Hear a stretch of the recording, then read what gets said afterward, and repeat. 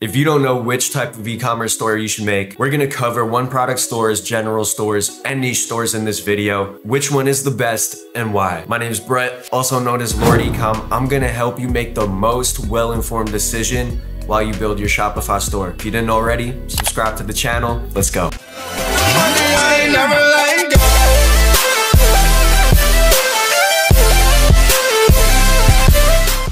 Okay, the first one we're gonna talk about is general stores, and we're gonna start out with the pros.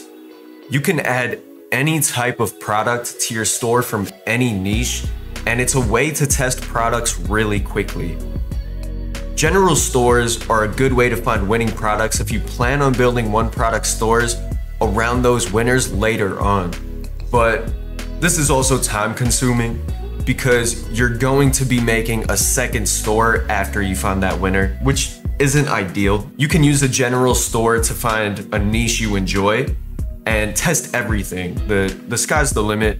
So you could test unicorn toys, kids toys, mother products, um, gym wear, all of this stuff in a general store. But let's go over some of the cons of having a general store now.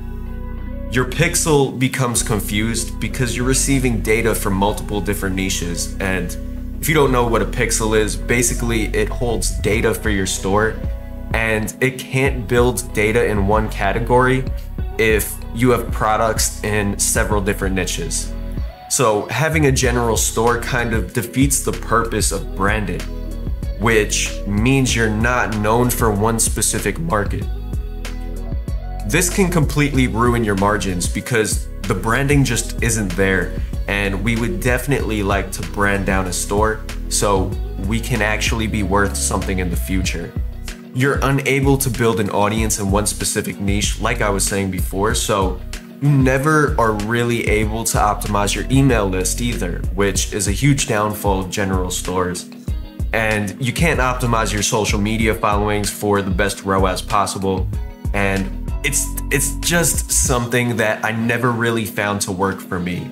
Yeah, honestly, just like I said, General Store is my least favorite out of the three, and I've tested two General Stores before. I've never been profitable with a General Store, just a little food for thought. The second type of store, one product stores. Here's the pros of it. You can do great branding with a one product store.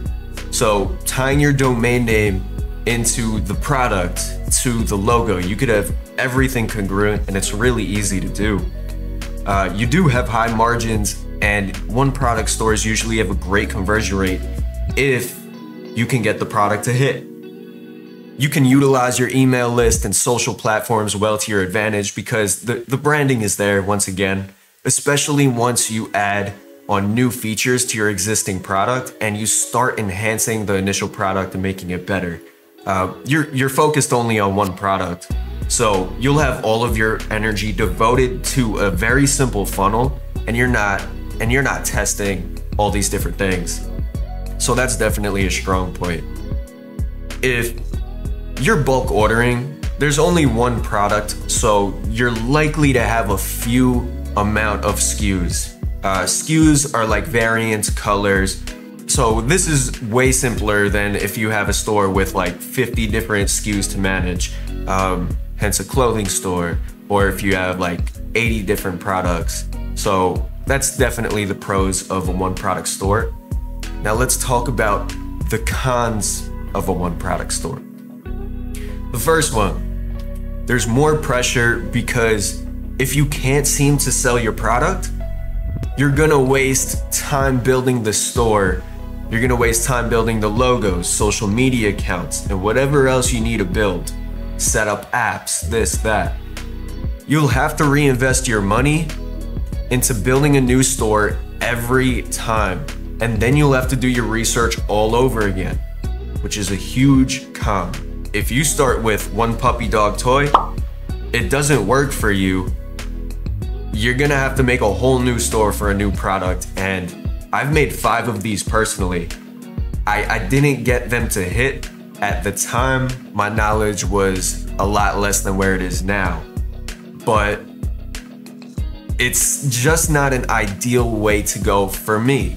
So before starting your one product store, you're gonna have to conduct heavy research on the product and why people will buy it. Because there's no room to pivot your brand if something doesn't work. You only have one product. So your AOV is going to be lower. AOV is average order value.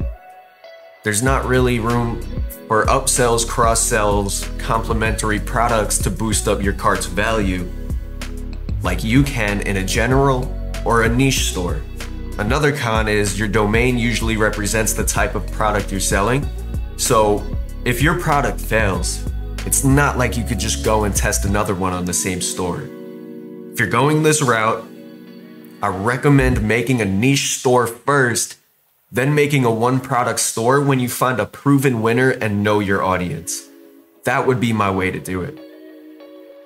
And now my favorite, niche stores. So the pros of a niche store, the first one, you're able to build a dedicated audience in one niche. This means learn what they want, what your customers don't want, and become more experienced in the niche, step by step, until you know the niche like it's the back of your hand. And this is gonna increase your success rate. With a niche store, you can test multiple products within the same niche, and that's another reason why I really love it. Your AOV increases because you can introduce upsells, cross sells, and downsells within the same niche. So everything is still relevant to the shopper experience and what they already have in their cart. All of the data you're building in a niche store stays congruent, which leads you to building strong pixels, strong social media platforms, and everything else. Everyone on your email list in a niche store and social media platforms, like I just said, they're all going to be a relevant customer. And this really helps increase your customer's LTV, which is lifetime value. Increasing your customer's lifetime value is going to be huge for increasing revenue throughout the year and even next year and the year after that. This is how you build long term brands that you can sell for hundreds of thousands, millions in the future if you do everything correctly, depending on how far you really take your brand. Yeah, so you can brand niche stores extremely well. This gives your business a high perceived value which is going to also lead to higher margins in your business. It's simple to find and learn from competitors in a niche. And this is why niche stores are by far my favorite. They're the only type of store that I've started from scratch and have been consistently profitable with. All right, let's move on to the cons. Here's some cons of a niche store. You can't test multiple niches with one store. You need to commit to one from the start. This is why I always recommend to build a business around your lifestyle already. If you build a, a business around your life and how you live and hobbies you do and stuff you like, one, you already love doing those things, so you're not gonna get tired of your business and now you can make money off of doing something you love. It's definitely worth it to build a niche store, niche store, however you want to say it. They're my favorite, and I, I really do enjoy working in that field, in that area. With a general store, you're not gonna have a passion for it. With one product store, it could be hit or miss, especially for a lot of you new entrepreneurs starting up dropshipping or e-commerce businesses. If you need help with your branding, running ads, you just need some consulting in general, you can always hit me up on my Instagram at lord.ecom or you can send me an email at thelordofecom at gmail.com or you can message me on Facebook at Brett Fallarino. If I'm open and I'm willing to take on students at the time, um, we can see what we do. If you have a good idea, you have a good product, and you seem capable, I'll definitely consider taking you on and we can start to grow your business to either high five figures or six figures. I haven't hit seven figures yet, so I won't promise that. But send me a message if you need some help, you want to grow your business, and you're serious. Subscribe to the channel, drop a like. That's the difference between a general niche and a one product store. I recommend you do niche. I'll catch you in the next one. Stay beast, my lords. Peace.